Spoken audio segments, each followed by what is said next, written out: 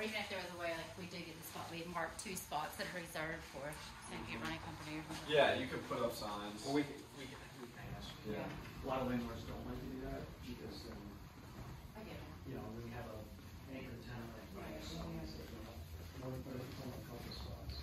They should, they shouldn't raise a big concern.